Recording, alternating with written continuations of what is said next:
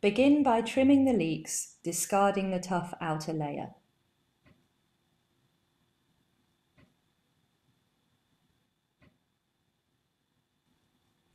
Split them in half lengthways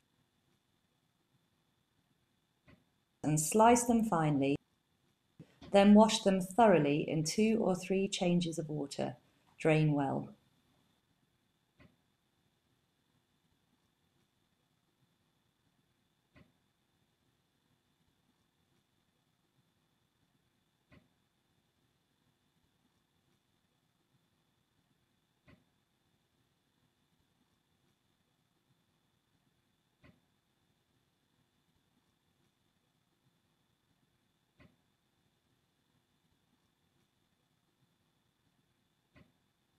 In a large, thick base saucepan, gently melt the butter, then add the leeks, onions and potatoes. Stir them all round with a wooden spoon so they get a nice coating of butter. Season with salt and pepper, then cover and let the vegetables sweat over a very low heat for about 15 minutes.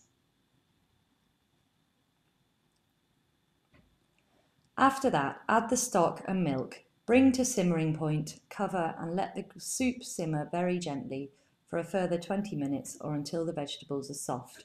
If you have the heat too high, the milk in it may cause it to boil over. Leave the mixture to cool for a little while, then blend to a puree. If you don't have a blender, you can mash with a potato masher or fork. If you have to blend the soup in batches, make sure you have a bowl to hand to put the first batch into. Now return the soup to the saucepan and reheat gently, tasting to check the seasoning. Add a swirl of cream or creme fraiche before serving if you like and sprinkle with freshly snipped chives or parsley.